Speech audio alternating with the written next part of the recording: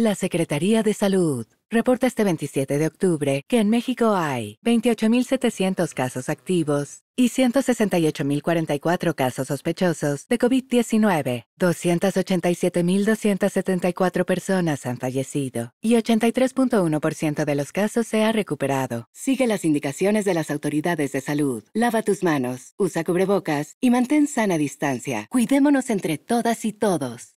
Gobierno de México.